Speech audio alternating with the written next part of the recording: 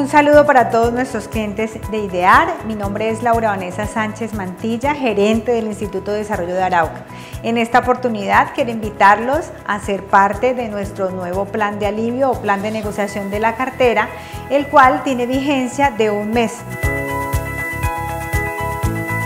Estamos ofreciendo alternativas de financiación a nuestros clientes en mora. ¿A través de qué?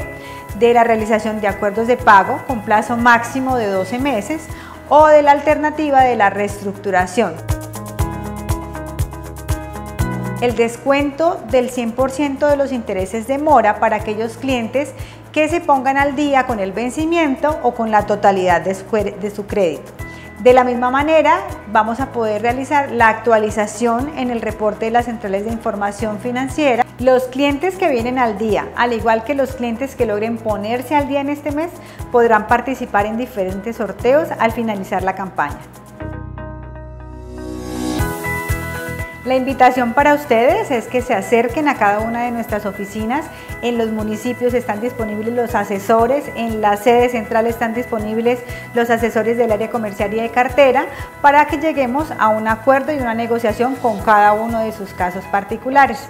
Idear, 20 años creciendo juntos con oportunidades para todos.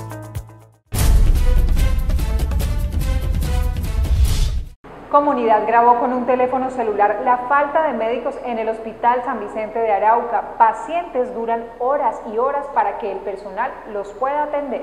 Un ciudadano con su teléfono celular grabó la grave situación que enfrenta el Hospital San Vicente de Arauca al no contar con personal médico en la parte de urgencias. Muchas personas duran horas y horas y no reciben las atenciones de los galenos. Miren, miren esta niña desde las 6 de la tarde aquí y no la han atendido. Este muchacho. Eh, este joven está aquí desde las 5 de la tarde botando sangre por la nariz y por la boca y no lo atienden, ¿sí? ¿Qué es lo que pasa aquí con el hospital de Arauca? Una urgencia y no hay médico, no hay doctores. ¿Quién atiende aquí, por favor? Asimismo, siguieron grabando y pasaron a la sesión de urgencias del centro asistencial donde no encontraron ningún médico. Urgencias donde reciben a los pacientes y ahí no hay médico quien atienda. Prefirieron entrar unos policías que estaban enfermos antes de pasar una niña que está que se ahoga. Vean, no tenemos médico.